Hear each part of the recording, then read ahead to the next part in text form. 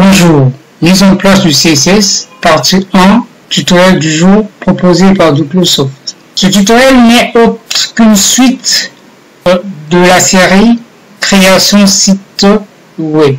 Alors, dans l'un des tutoriels, nous nous sommes permis de colorer notre titre Joyeux anniversaire. Nous avons appliqué la couleur rouge et nous avons dit que pour appliquer cette couleur, il fallait faire intervenir un nouveau langage qui lui complète le HTML. Il s'agit tout simplement du CSS. Alors, dans cette série de tutoriels, nous allons apprendre où placer le CSS en question. Repartons au sein de notre éditeur.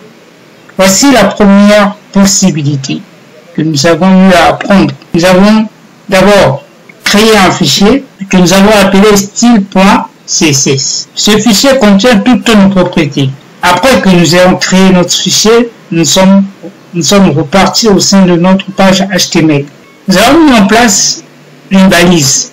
Il s'agit de la balise link. Donc nous avons link, nous avons link, sheet, tab textcss et href c'est ici que nous mettons le nom que nous donnons à notre fichier CSS.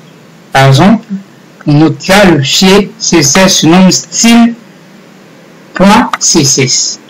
Alors, une fois que ceci est fait, ça veut tout simplement dire que les propriétés que nous mettons au sein de notre fichier euh, style.css sont prises en compte notre fichier .html.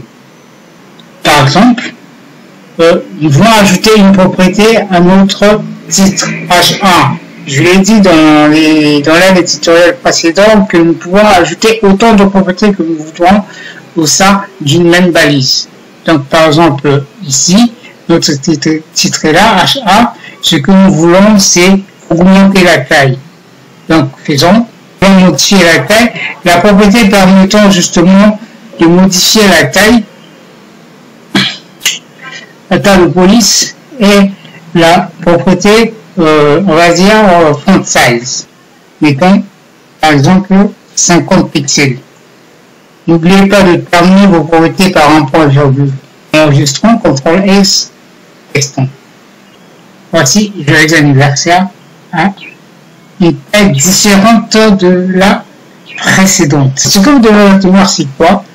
C'est que l'une des méthodes permettant de d'écrire le CSS consiste à créer un fichier CSS et ce fichier est censé figurer dans le même dossier que le fichier HTML, sans oublier qu'au sein de notre HTML, nous devons mettre euh, la balise link.